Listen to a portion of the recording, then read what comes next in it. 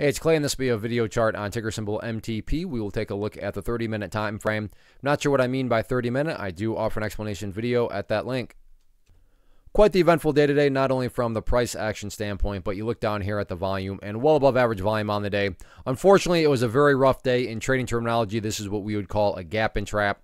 So, want to quickly go over that, and then we'll talk about some of the key areas of support and resistance. But real quick, if you're maybe new to trading and not sure what I mean by gap and trap, well, on Thursday the price closed right there, and then Friday the price opened up there, hence a gap up. And in this situation, a very big gap up. So the price gapped all the way up there. Opening bell rang. The price showed a little bit of strength, moved up to that area, and then this is where things get savage because there are some poor souls buying up around this area. And then after that, it was basically all selling pressure the remainder of the day and back down the price went. So that was, you know, the gap and trap that completely played out here. And now going forward, the level of support that I would certainly call a must hold area, do or die, whatever dramatic term you can think of, is at 225. Why is that area important? Well, I'm not saying this will happen, but just for explanation's sake, if the price were to come down to that area, behave like that, and then break to the downside, what would you have at that point? Well, from a very literal point of view, you'd have the price right back inside of that range that it just broke out from.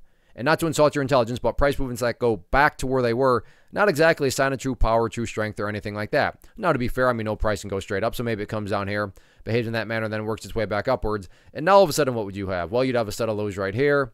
You'd have that set of lows right there if you envision each of those as stair steps. Well, hey, there you go. Now you have stair steps making progress in the upwards direction.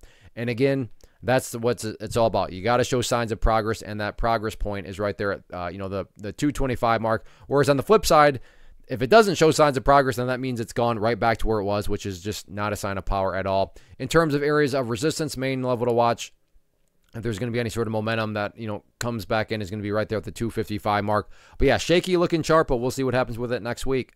First off, thanks so much for watching the entire video. Real quick, before you go, I want to invite you to a live webinar, web class, training, workshop, online event whatever you want to call it, but it will be me live revealing to you what I've discovered that has allowed me to transform myself from being an employee to being my own boss, including how I had only one losing day out of 73 days in total. I'm going to cover three keys that have helped me unlock profitable consistency within the markets. The first key is super weird, but in a productive type of way. The second key is super awesome because it quite literally is wired into our DNA as humans, making it very easy to use. But in a cruel way, this becomes a pitfall for many traders. I'll explain it all though, including how to avoid the pitfall that it creates for some. And yeah, the third key, when you hear it, sounds way too good, way too good to be true, but it's not, and I'll show you how it all works. Then at the end, I open it up for a question and answer session that is, again, totally live. Even if you can't make the live session,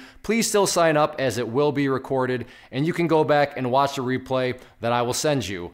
Click the image on the screen or click the link down in the description box so you can get the date and time and claim your spot, which I should note is limited due to the fact that this truly is a live event.